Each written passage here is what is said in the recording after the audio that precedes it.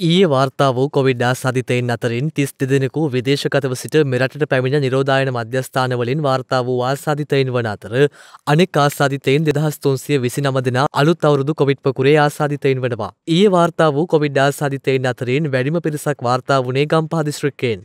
එමෙන්ම සෙසු ආසාධිතයින් අතරින් කළුතර දිස්ත්‍රික්කයෙන් ආසාධිතයින් තුන්සියතිස් නමයක් සහ කොළඹ දිස්ත්‍රික්කයෙන් ආසාධිතයින් තුන්සියතිස් අටක් වාර්තා වුණා. ඉන්දියාවට සාපේක්ෂව මරණ සංඛ්‍යාවටත් වඩා අපේ ඉන්දයාට සාපේක්ෂව දිනකට මතුවන රෝගීන් ජනගහනයට සාපේක්ෂව ඉහළ අගයක් පවතින බව ජාත්‍යන්තර වශයෙන් එකතු කරන ලද දත්ත දිහා බලනකොට පේනවා. මෙහිදී වැදගත්ම දේ තමා ලංකාව අනපේක්ෂිත ලෙස අවුරුදු කාලයෙන් පස්සේ දෙතුන් ගුණයක රෝගීන්ගේ වැඩිවීමක් පෙන්නුම් කරා. ඒ අනුව අපේ රටේ ජනගහනය වැඩි වුණේ නැහැ. නමුත් ඊට සාපේක්ෂව ලොකු වැඩිවීමක් ඒ කාලය තුල අපි දුටුවා. හැබැයි මේ වෙන විට තවදුරටත් ඒක වැඩි වෙන්නේ නැතුව ඒක පවත්වාගෙන යන්න උපරිම ක්‍රියාමාර්ග ගන්නවා. මේ දක්වා පෙනී ඇත දත්ත දිහා බලනකොට යම් ප්‍රමාණයකට අඩුවීමකුත් දකින්න ලැබෙනවා. නමුත් මම හිතනවා ඉදිරි දිනකයේ පිටුල තවත් සුළු වැඩිවීමක් එක්ක මිසක් දිගටම පහළට යාමට තියෙන ඉඩකඩ අඩුයි. ඇත්ත වශයෙන්ම අපි දන්නවා ඉන්දියාව තුළ මේ මොහොතේදී මතුවුණු රෝගීන් සංඛ්‍යාව ඉතාමත් දැඩි ලෙස අඩු වෙමින් පවතිනවා. මේ අඩුවීම හේතුකටගෙන ඉන්දියාවේ ජනගහනයට සාපේක්ෂව මේ වෙනකොට හමුවන රෝගීන් සංඛ්‍යාව ලංකාවේ ජනගහනයට සාපේක්ෂව හමුවන රෝගීන් සංඛ්‍යාවට වඩා අඩුයි. මේක තමා අපිට මේ මොහොතේ දකින්න ලැබෙන සංඛ්‍යාත්මක දර්ශනය.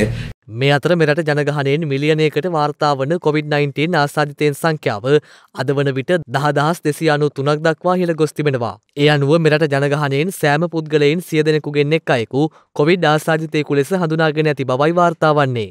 එමෙන්ම හඳුනාගත් එම ආසාධිතයින් අතරින් මරණයට පත්ව ඇති ගණන සියයට එකකට ආසන්න බව කොවිඩ් දත්ත යාවත්කාලීන කරන වර්ල්ඩෝමේට වේ බඩවිය පෙන්වා දෙනවා. මේ අතර මින් ඉදිරියට COොVID-19 ආශ්‍රිත මරණ වාර්තා කිරීමේදී පසුගේ පැය හතලිසට හෝ විසි හතර තුළ සිදුවන සියලුම මරණ ඒ දිනේදී වාර්තා කිරීමට කටයුතු කරන බව සෞඛ්‍ය සේවා අධ්‍යක්ෂ ජනරාල් විශේෂඥ වෛද්‍ය අසේල ගුණවර්ධන මහතා පවසනවා. දෛනිකව මරණ වාර්තා කරනු ලැබුවේ සියලුම සමස්ත රෝගීන් පසුගිය දිනවල අපි අද දින සිට මරණ වාර්තා කරනු ලබන්නේ පසුගිය පැය 48 තුළ සිදුවෙන මරණ සියල්ලම අපි වාර්තා කරන්න දැන් ක්‍රමවේදයක් සකස් කරලා තියෙනවා. එතකොට අපිට පැය 24ත් පැය 48ක් තුළ සිදුවෙන සියලුම මරණ අපි වාර්තා කරන්න කටයුතු කරනවා. මේ අතර සෞඛ්‍ය සේවා අධ්‍යක්ෂ ජනරාල්වරයා වැඩිදුරටත් සඳහන් කළේ නිවෙස්වල එක්තැන් වී ඇති පුද්ගලයන් සඳහා එන්නත් කිරීමේ ක්‍රියාවලියක් හඳුන්වා දීමට කටයුතු කරන බවයි.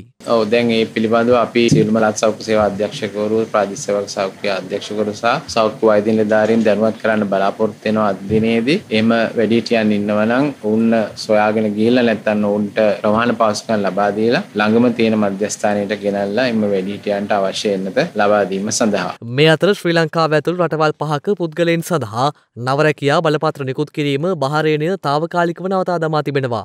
කොවිඩ් වෛරස් ව්‍යාප්තිය හේතුවෙන් රතුල අයිස්තු ගත රටවල පුද්ගලයින්ට මෙම තහනම පනවා ඇති බවයි වාර්තා වන්නේ. ශ්‍රී ලංකාව ඇතුළුව ඉන්දියාව පාකිස්ථානය බංගලාදේශය සහ නේපාලයන රටවල් ඊට ඇතුළත්. මේ අතර දිවයිනේ සියලුම විශේෂාර්ථික මධ්‍යස්ථාන සහ මැනිින් තොගවෙළඳ පොළ එළබෙන ජුනි දාහත් වනදා සහ දහට වනදා තොගවෙළඳාම් කටයුතු සඳහා විවෘත්තව තැබීමට තිරණය කර තිබෙනවා. ජනතාවට අවශ්‍ය අත්‍යවශ්‍ය එළවලු ද්‍රව්‍ය බෙදාහැරීමේ පහසුව සහ ගොවීන්ට සියාස් වනු අලවිකර ගැනීමේ පහසුව සඳහායි එම ක්‍රියාමාර්ගය ගෙන ඇත්තේ. වැදගත්වත් නැරඹීම සඳහා ශ්‍රද්ධා TV නිවස් YouTube චැනලය සබස්ක්‍රයිබ් කර සීනුව සලකුණ වන්න.